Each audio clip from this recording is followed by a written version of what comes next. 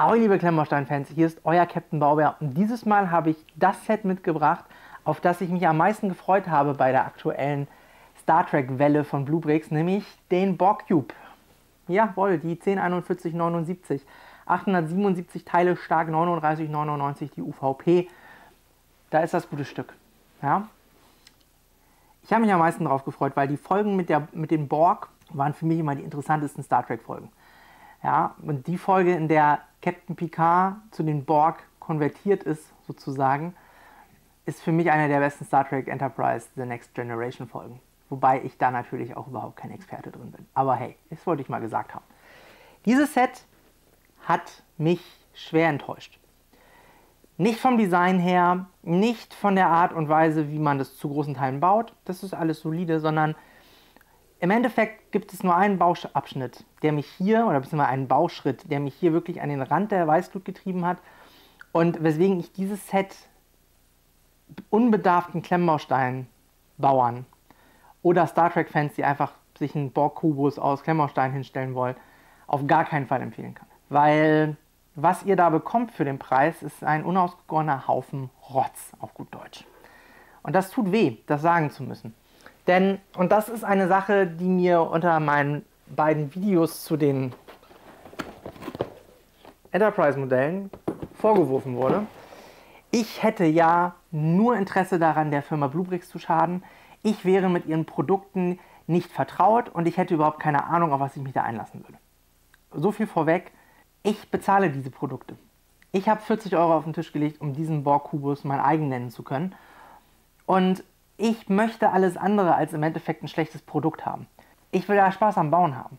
Meine Zeit ist begrenzt. Ich habe ein neugeborenes Kind hier zu Hause. Ich habe jetzt nicht jeden Tag irgendwie drei, vier Stunden Zeit, um irgendwas zu bauen. Das hätte ich gerne, habe ich aber nicht. Und wenn ich mich dann hinsetze und ich baue sowas und dann gibt es einen Bauabschnitt, beziehungsweise zwei Bauabschritt, äh, Bauschritte, die dazu führen, dass ich dieses, diesen Borgkubus nicht zusammenbauen kann, weil einfach hier integrale Bestandteile des Sets nicht funktionieren, dann ärgert mich sowas. Und das macht mich auch ein bisschen traurig, denn die 40 Euro habe ich ausgegeben, ich habe das Ding aufgerissen, ich habe es gebaut und jetzt steht es hier vor mir in all seiner Pracht. Ja, ihr werdet jetzt auch sicherlich sagen, Moment, aber so sieht der Borgkubus ja nicht aus, da sind ja ein paar Details falsch und hier und da. Jo, ich habe das Ding versucht zusammenzubauen, das ist mir so oft auseinandergebröselt, dass ich dann irgendwann gesagt habe, okay, fuck it, Hauptsache es hält. Und dann nicht mehr darauf geachtet habe, dass alles so fluchtet, wie es sein soll. Also dass alle Seiten genau ausgerichtet sind und genau an Ort und Stelle sind, wo sie eigentlich hin sollen. So. Und bevor wir jetzt lange um heißen Brei herumreden, denn es gibt zig Videos da draußen und alle haben diesen Borg-Kubus irgendwie vorgestellt, irgendwie getestet oder besprochen oder whatever. Ich gehe jetzt hier nicht noch großartig aufs Set ein. Das haben schon ganz viele gemacht. Ich bin da auch sehr spät tatsächlich, aber es war einfach zeitlich nicht anders machbar. Ich gehe kurz nochmal auf die Teile ein, denn das ist der größte Hinkefuß an der ganzen Geschichte. Und das ist eine Situation, in der wir uns hier befinden, wo ich echt denke, so, das kann doch bitte nicht wahr sein. Bluebricks möchte mit diesen Modellen Star Trek-Fans ansprechen. Die möchten ihre Portfolio erweitern und die möchten ihre Zielgruppe erweitern und die möchten bekannter werden im Mainstream dann kann man solche Produkte nicht machen. Das, sorry, aber das geht nicht. Jeder, der noch nie ein Klemmbaustein-Set von Bluebricks gebaut hat, keine Ahnung, in den Bluebricks Store in Hamburg geht und sich das kauft, weil er denkt, so geil Star Trek, geil Klemmbausteine, habe ich Bock drauf, beziehungsweise geil Lego, ne, in Anführungszeichen. Und der baut das. Der wird nie wieder ein Bluebricks-Set anfassen. Nie wieder, weil er kriegt das nicht zusammen, so wie Bluebricks sich das vorstellt, so wie es die Anleitung einem sagt. Und das Problem ist, so elementar, dass ich mich frage, wie zur Hölle kann man das nicht korrigieren wollen? Oder keine Ahnung. Kommen wir erstmal zu den coolen Sachen. Ihr bekommt jede Menge Waffen mitgeliefert in diesem Gitterrahmen. Ja, also da habt ihr noch schön Spare Parts, um eure kleine, süße Klemmbaustein-Armee auszurüsten. Das ist doch schon mal ganz cool. Dann äh, bleibt hier das übliche Gefuddel über. Auch wir haben hier auch wieder im Standfuß in diesem Fall eine Baurichtungsumkehr. Der Standfuß ist aus diesen Transclear-Teilen zu 90% gebaut in diesem coolen Grün. Ja. Die sind auch ein zweischneidiges Schwert. Also ihr seht an diesem Kubus überall diese Käseecken. Und diese Käseecken haben einfach keine Klemmkraft. Die halten irgendwie, ja, aber wenn ihr das Ding jetzt schütteln wolltet und so weiter, dann fällt das einfach ab. Hier sind auch diese Gullideckel, ne, also diese Grills drauf. Ähm, die haben auch eine sehr schwankende Klemmkraft, muss man ganz ehrlich sagen. Es ist halt wieder hm, ne, Xingbao, Steinequalität durchwachsen. Das an sich ist aber auch gar nicht so der Hinkefuß des Ganzen. Ja, also, dass da jetzt irgendwie ein kleiner Viertelstein nicht richtig Klemmkraft hat, ist bei einem Display-Modell auch alles nicht so wichtig. Kann man meilenweit drüber hinwegschauen, wenn man möchte. Der Standfuß an und für sich ist cool zu bauen. Den baut man auch als erstes lustigerweise. Dieses Set hat auch drei Bauabschnitte. Die anderen hatten ja immer nur zwei Bauabschnitte. Dieses Set hat drei Bauabschnitte. Wieder unterteilt in Tüten, vorsortiert. Man kann da nichts falsch machen. Auch die Anleitung ist vollkommen ausreichend. Ja? Klar, das Druckbild könnte größer sein, aber im Endeffekt ist das von der Aufteilung der Bauschritte und so weiter, das ist alles es ist alles gut baubar, das ist gut nachvollziehbar. Wie immer, was ich auch bei den Raumschiffen schon be äh, bemängelt habe, es gibt hier keinerlei Informationen zum Borgkubus selber. Ja? Die Anleitung fängt einfach stumpf an. Über das Design der Packung und der Anleitung kann man sicherlich auch geteilter Meinung sein, aber ey, ganz ehrlich, das ist alles Nitpicking im Endeffekt. Ne? Im Endeffekt ist das wichtig, was auf dem Tisch steht. Oder später natürlich im Regal. Und die Transclear-Teile hatten bei mir eine gute Qualität, die waren alle Transclear. Die hatten auch eine gute Klemmkraft. Es gab da mal hin und wieder ein paar Ausrisse nach unten, aber die sind grundsätzlich nicht aufgefallen. Dieser Standfuß hat dasselbe Problem wie bei den Raumschiffen auch. Er wobbelt. Ja? Das liegt einfach schlicht und ergreifend daran, dass er zusammengesetzt wird und dieser Ständer hier in der Mitte, ja, der ja auch wieder nur aus vier Noppen besteht, ja, aus diesen Brick Modified, äh, diesen Round Bricks, mit einer Technikachse da drin. Der hat natürlich auch das Problem, dass er dadurch, dass dieser Sockel zusammengesetzt wird äh, aus zwei Teilen und dann quasi mit inverser Baurichtung zusammengesteckt wird, dass der an und für sich nicht so wahnsinnig stabil in sich ist. Das sieht, der sieht cool aus, ist aber nicht besonders stabil. Wo es jetzt aber echt schwierig wird, das ist ein Kubus. Ne? Und dieser Kubus besteht aus großen Platten. 6x14er Platten und die ganzen werden dann zusammengebaut mit äh, 2x12er Platten und äh, 2x6. Ne? Ja genau, 2x6. So. Da werden die so zusammengesetzt. Seht ihr hier. Ne? Und dann, das ist jetzt die Bodenplatte. Ne, die Bodenplatte von dem Kubus. Hier ist auch die Aussparung, wo später dann der Ständer eingeführt wird. Ständer eingeführt. Ja. Das hier sind dann die Seitenplatten. Ne, die werden von hinten zusammengehalten von den äh, langen zwei 12er und zwei 6er Plates. Und dann soll das Ganze halt eine plane Fläche sein, auf die ihr dann mit dem kleinen Viertelzeug die Optik draufbringt. Wie immer nochmal kurz vorweg erwähnt oder kurz nochmal erwähnt, sind Displaymodelle. Keinerlei Spielfunktion, die stellt ihr euch ins Regal, um sie anzuschauen.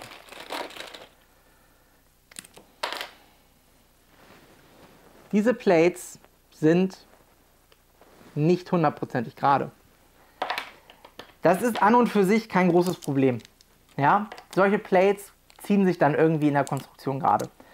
Problem ist nur, wenn solche Plates als Unterbau dienen, um halt große Plates zusammenzufügen zu einer ganz großen Plate, dann entsteht eine Spannung. Und diese Spannung sorgt dafür, dass ihr diesen Kubus zum Schluss nicht zusammensetzen könnt, weil die Platte so gewölbt ist. Shit. Ah. Ja, okay. Also, das ist der Grad der Wölbung, den das Ganze hat, wenn man diese Platten rausnimmt. Ja, also in diesem Fall werden die 2x14 und die 6x14 Platte werden nur von der Deko hier gehalten. Weil das die einzige Möglichkeit ist, bei mir zumindest, um diesen Kubus überhaupt zusammenzusetzen. Denn oben, an den Ecken hier oben, soll das Ganze von jeweils drei Pins gehalten werden, beziehungsweise drei Studs. Ja? Und unten soll das Ganze von dieser Armada von ja, Brick Modified gehalten werden. Ne? Das kann nicht funktionieren, wenn die Platten eine Wölbung haben. Ja, die Platten wölben sich quasi so stark, dass ihr innen noch einen Klemmkontakt herstellen könnt, aber außen schon nicht mehr. Und das hier oben hat dann überhaupt keinen Halt mehr. Das heißt, der ganze Kubus bricht immer wieder in sich zusammen. Ihr könnt, so wie es die Anleitung vorsieht, ich zeig's nochmal, so sehen die das vor. Das könnt ihr so nicht bauen. da die Spannung der einzelnen Seitenelemente so groß ist und die so weit auseinandergewölbt sind, dass sich das nicht zusammenstecken lässt. Ich habe das versucht, eine halbe Stunde, dann habe ich festgestellt, es wird niemals funktionieren. Dann habe ich die ganze Plattenunterkonstruktion rausgenommen. Dann war die Wölbung auf einmal weg und auf einmal konnte ich diesen Kubus zusammensetzen. Dadurch ist der Kubus natürlich ungefähr so stabil wie Watte. Ja? Also den kann man nicht anfassen, der sollte auf diesem Ständer einfach auf Ewigkeiten stehen. Man hat dadurch natürlich einen Kubus. Irgendwie, ne? wenn man sich zu helfen weiß. Und das funktioniert dann irgendwann auch irgendwie. Ne? Ich habe hier ein fertiges Produkt gekauft von einem Großserienhersteller. Und das darf solche Mängel in der Konstruktion nicht haben. Punkt. Ich gehe jetzt hier auch gar nicht großartig weiter aufs Design ein oder ne, dass ihr ja eins, zwei, drei, vier, fünf Mal so, so ein Plate-Konstrukt mit äh, Struktur bedienen müsst. Ne? Mit diesen Fisselplatten und dass sie natürlich so auch auf die Teileanzahl kommen und so weiter. Gehe ich nicht drauf ein. Das wurde alles schon gesagt. Ich finde aber, das ist eine Frechheit, das einem Kunden als fertiges, ausgereiftes Produkt verkaufen zu wollen. Das geht einfach nicht. Und ich meine, es gibt 16 x 16 Platten im Angebot. Ja? Dann hätte man Technik-Bricks nehmen können, die an den Seiten dann mit äh, äh, Halbbrick, äh, Halbpin auf Pin-Aufnahme gehen in die Technik-Bricks rein und dann die, die Gegenseiten packen. Es hätte eine sehr stabile, langlebige Konstruktion äh, gegeben, die sehr einfach zu bauen ist. Ich kann mir nur einen Grund vorstellen, warum sie es nicht gemacht haben. Zum einen ist der Cube, der Bohrcube von Modbreak so aufgebaut und zum anderen, oder in der Art so aufgebaut, zum anderen ist es so, wahrscheinlich hat Tsingbao 16x16 Platten im Angebot, die schon so eine harte Wölbung haben, dass sie das quasi als Workaround gehen mussten, diese Zusammensetzung. Und dann haben sie es aber verkackt, indem sie halt sich keine Gedanken darum gemacht haben, wie sehr auf Spannung das Ganze kommt, wenn man das jetzt hier noch mit halb oder wen, also ein bisschen krummen Plates untermauert.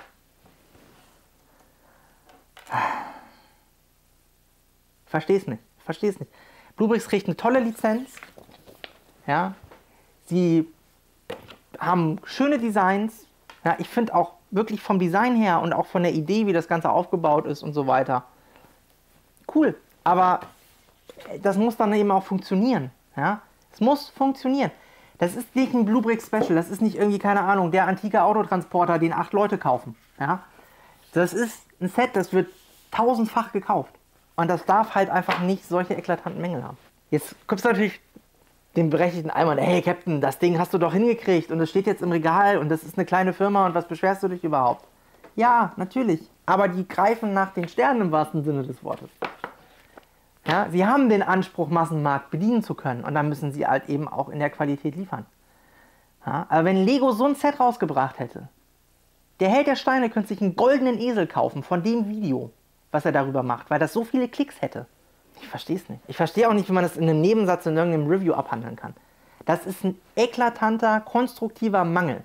Und da müsst ihr mir jetzt auch nicht mit, damit kommen, dass man das ja irgendwie mit Know-how und ein bisschen Nachdenken und noch Extrasteinen, die man eh zu Hause hat, lösen kann. Das hat nicht jeder zu Hause und nicht jeder hat Bock, sich darüber noch Gedanken zu machen. Es gibt auch genug Leute, die laufen in Lego-Laden und kaufen sich den Adidas-Schuh und wenn da irgendwas nicht funktioniert, dann haben die auch keinen Bock, sich darüber Gedanken zu machen, sondern die wollen den Schuh aus Legosteinen im Regal stehen haben. Genauso wie Leute diesen Borgkubus aus Klemmbausteinen im Regal stehen haben wollen. Es hinterlässt bei mir Fragen, wie man als Hersteller eine Reihe rausbringen kann, die einem so wichtig ist, dass man komplett auf Print setzt, dass man diese schönen Schilder hier macht, dass man sich hinsetzt, dass man schöne Kartons macht, dass man schöne Anleitungen druckt, dass man ähm, auch Anleitungen druckt, die sicherlich mal Probe gebaut worden sind. Und dass man dann trotzdem mit so einem Produkt in Serie geht. Verstehe ich einfach nicht. Keine Ahnung. Ich bin mal gespannt, ob es da irgendwie eine Erklärung für gibt oder ich verstehe auch nicht, warum es nicht irgendwie noch ein bisschen mehr Aufregung darum gibt. Es gibt ja viele YouTube-Kollegen da draußen, die das auch gesehen haben und die dann halt relativ pragmatisch an die Geschichte rangegangen sind, weil es ist ja ein Bluebrick-Set, da muss man eh immer Sachen verändern.